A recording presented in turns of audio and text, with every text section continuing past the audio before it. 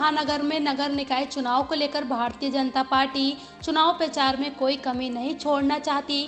जैसे जैसे मतदान की तिथि नज़दीक आ रही है, वैसे वैसे भारतीय जनता पार्टी ने अपने प्रचार को और तेज कर दिया है। भाजपा से महापौर पद के प्रत्याशी विनोद अग्रवाल ने तीसरे दिन भी अपने रोड शो को करने के साथ सभी को भाजपा को वोट करने की अपील भी की। मुरादाबाद के थाना मुगलपुरा क्षेत्र अंतर्गत गवर्नमेंट कॉलेज से भारतीय जनता पार्टी के महापौर के पद के प्रत्याशी विनोद अग्रवाल का रोड शो आयोजित कराया गया, जहाँ रोड शो के माध्यम से विनोद अग्रवाल ने सभी स्थानीय नागरिकों से भाजपा को वोट करने की अपील की। रोड शो के दौरान कार्यकर्ता और पदाधिकारियों के साथ स्थानीय नागरिकों ने भाजपा मेयर पद के प्रत्याशी विनोद अग्रवाल का फूल मालाएँ पहनाकर जोरदार स्वागत किया।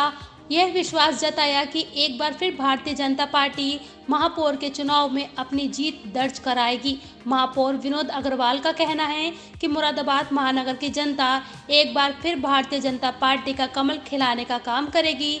सभी धर्मों के लोगों का उनके साथ समर्थन है और सभी लोग उन्हें वोट देकर जिताएँगे।